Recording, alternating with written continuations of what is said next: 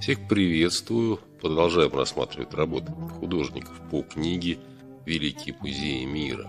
Винсент Ван Гог. Орлезианка. Портрет мадам Жену. 1888-1889 годы. Холст масла 91 на 73. Ван Гог принадлежал к голландскому и к французскому искусству. Его причисляют постимпрессионистом, и в то же время он остается ни на кого не похожим художником.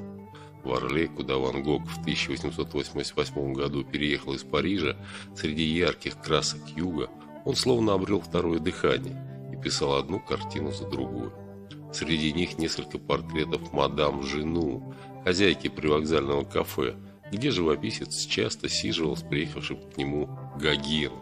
В один из дней друзья уговорили женщину позировать им в костюме орлезианки. После этого Ван Гог писал брату Тео. «У меня есть, наконец, орлезианка. Фон бледно-лимонный, лицо серое, платье черное и сине-черное. Чистое прусское синее.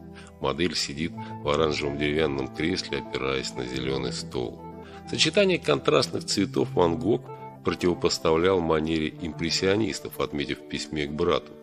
Вместо того, чтобы пытаться точно изобразить то, что находится у меня перед глазами, я использую цвет более произвольно, так, чтобы наиболее полно выразить себя.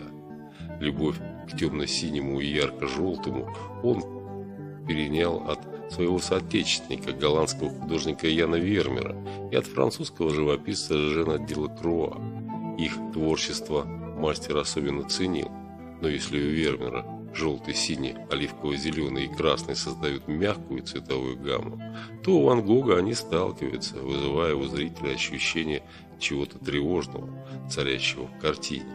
И отрешенный вид мадам Жену и ее поза подчеркивают это волнение.